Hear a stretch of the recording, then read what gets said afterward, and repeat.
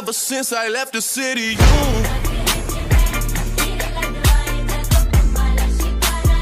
Ever since I left the city, you.